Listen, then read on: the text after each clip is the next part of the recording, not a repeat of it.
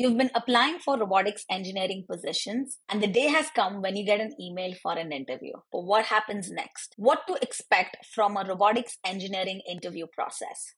Hey everyone, my name is Kajal and I'm a robotics software engineer at Boston Dynamics AI Institute. I've been in the industry for a few years and I've given my fair share of interviews. Today I want to talk about the entire process from the time you get the interview call. The first few steps are very similar to most engineering positions, so I go through them very quickly and then on site is where I go into more details and depth on what to expect for a robotics engineering position. I'll include the timings in the description. So without further ado, let's get into it.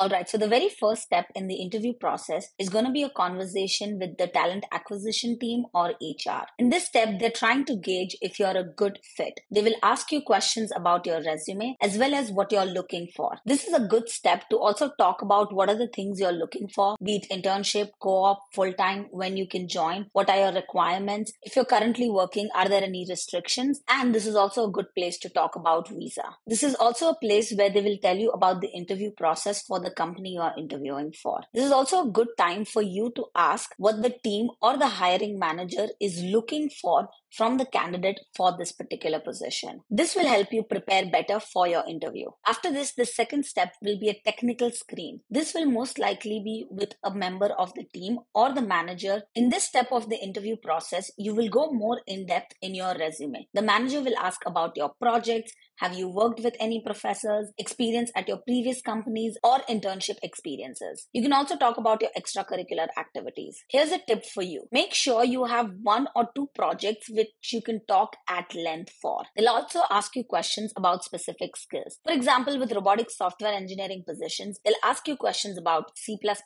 Python, or ROS. Here's another tip. This is a great place to ask information about the team and how you as a candidate would fit in. This is a good idea to get information about the challenges the team is currently facing and how you as a candidate could help solve that. So this technical screen is more verbal and it's a more conversation style interview. And along with this, there's another step of testing those skills before on site. Now, different companies do this differently. Some companies will do an online coding challenge wherein you are sharing your coding screen and solving it live with another person from the team. And some companies go for take home coding challenges. If you want to know more about take home coding challenges, I'll include a link here of a video where I talk about what it is, how to go about it, and how to do really good at them. If this is a software position, most likely you will get a coding challenge. If it's a hardware position, then you might also get a kit at home to assemble something or create something and solve a problem.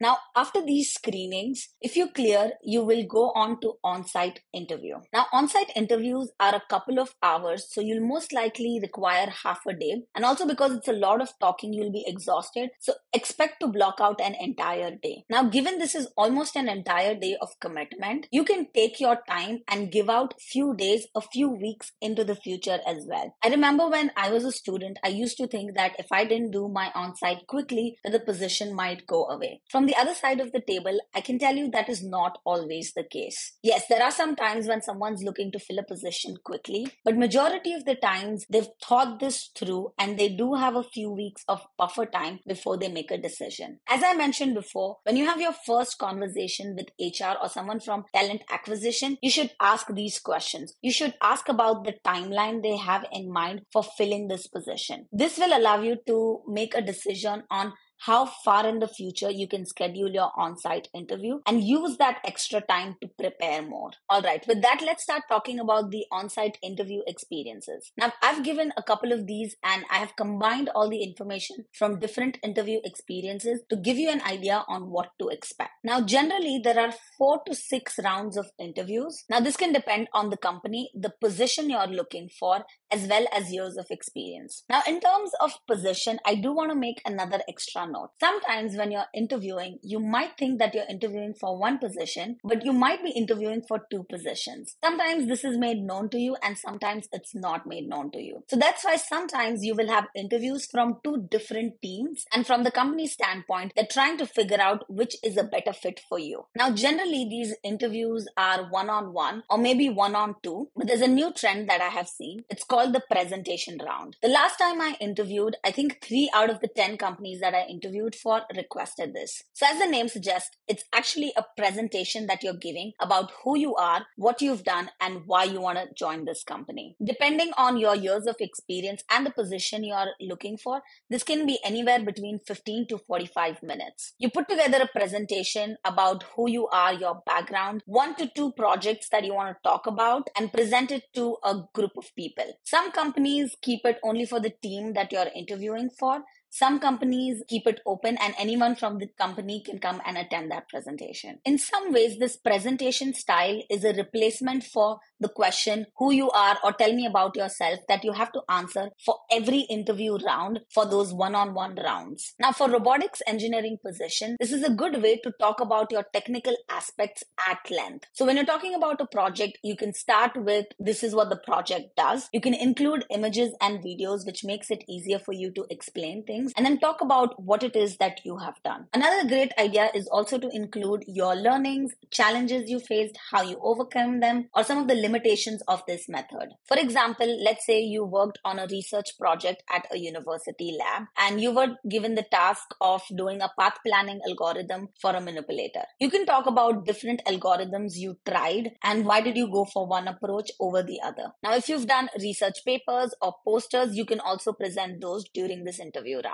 Do expect people to ask you questions during the presentation style as well as throughout the one on one interview rounds. Most of the time, all the one on one interview rounds, people will attend your presentation style interview so that they can get to know you. And then during the interview, they can just start a conversation. Now, next, let's talk about these one on one interviews. The first interview is the technical fit for the position that you're being hired for. You can expect questions where they're trying to see if you can do the task that they have in mind for you. For example, let's say it's a warehouse robot and they are looking to do image processing. They want to detect different shelves in the warehouse to place objects. So you can expect questions on computer visions, questions on OpenCV, if they're using ROS, questions on ROS or ROS2, different object detection or object tra- tracking algorithms. If there is something related to that on your resume, you can expect questions on that as well. In this round, you can also expect questions on testing. You can expect questions on CI/CD, on have you used GitHub, how do you track your projects, so on and so forth. They're also trying to gauge what is your level of expertise and how you will fit into the team. Are you someone who can start contributing or are you someone who would need help or are you someone who can help others as well?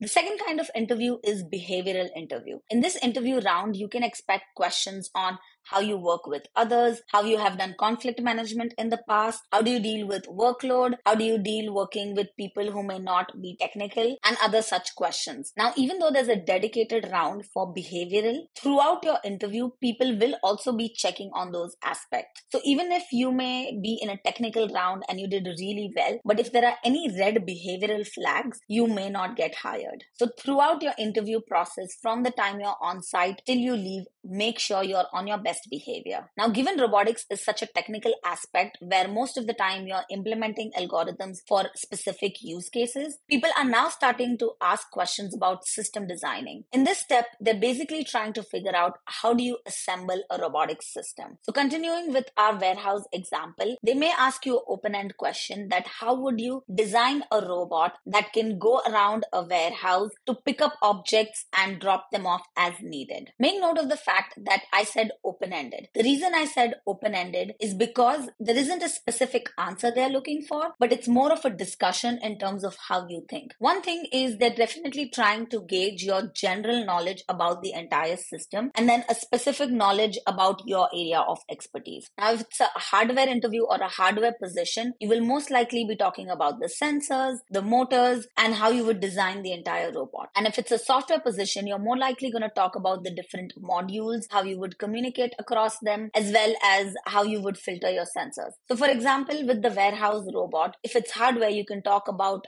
do you have a robotic arm or do you have some kind of fixed mechanism that can pull and push trays into place? You could talk about would it be four wheel system, would it be three wheel system, so on and so forth. On the software side, you could talk about modules. For example, there will be a planning module that will plan path from one point of the warehouse to another. You could talk about how you would keep track of the robots. So, for example, you could say that in my design, given it's a warehouse, you would have beacons, and that way the robot can localize itself. You can talk about perception on how you can have QR codes to detect different objects, or you could actually have an image processing algorithm to look for the specific object that it has to pull from the shelf. It's completely up to you how you want to take that discussion, but basically, they're trying to get an idea of how you think about designing a robot. Next, I want to talk about coding round. To be honest, I have done a lot of these, and there are times when people are completely shocked that there is a coding interview on site. Trust me, if you're doing robotic software engineering, there will be a coding round. Either it could be live coding, where you are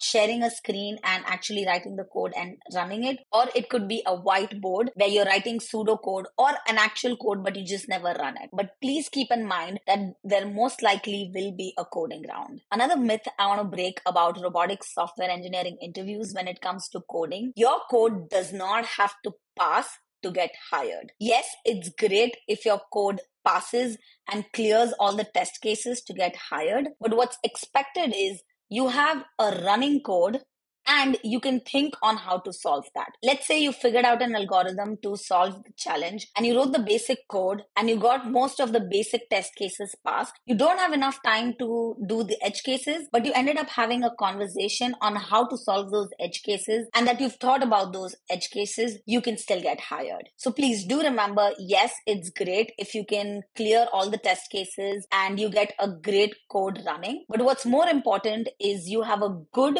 running code code that clears most of the cases and an algorithm on how you plan to solve the rest of the cases. I know this can be a little unsettling, but the main thing that they're trying to gauge is can you code and can you think logically? Because maybe you don't know how to write one particular function, or maybe you're making a mistake in removing an item from the list. Those are things that you can Google on the job and solve, or take somebody's help, or that is something that can easily be learned, but it's much harder to teach someone to think logically. So, that, according to me, is a way more important factor that they're looking for and you should make do your best to highlight. So this also means that when you're doing the coding challenge don't just write the code and let it pass. Talk through it. As you're writing talk about okay this is your approach. This is how you plan to solve it. This is why you're using list versus tuples or this is why you're using tuples versus list. Talk through your solutions. Also if you're running into errors as you're debugging talk through okay this is how i'm going to debug. I'm going to write print statements or i'm going to add in another variable just to check and see this is doing exactly as I expect or maybe you're adding breakpoints to pause and see how the code is running. But those things are really important. If this is something you want me to talk more about on how to do well in coding challenge, put it in the comments below and I'll try to make a second video. One other tip I have is make sure you also have questions to ask to the team. I've seen this a lot of times. We go through the entire interview process and then when the candidate is asked, Hey, do you have any questions for me? They kind of stumble upon, they're not sure what to ask. They haven't thought about this. And this makes you look slightly slightly unprepared, but also that you're more focused on solving and not making sure that you are a fit for the team and the team is a fit for you. As in, you're not thinking about this company seriously. So do make sure you prepare questions to ask as well. I wish you all the best for your interview. And if you found this video helpful, make sure to give it a like. And if you haven't already, don't forget to subscribe. Thank you for watching, and I'll see you in the next video.